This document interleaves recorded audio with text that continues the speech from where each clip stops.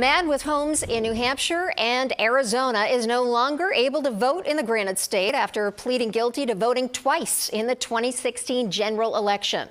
Prosecutors say 77 year old Sigmund Bergansky cast a ballot in New Hampton and an absentee ballot in Arizona. His 90 day prison sentence was suspended, but he will have to pay more than $1,200 in fines and penalties.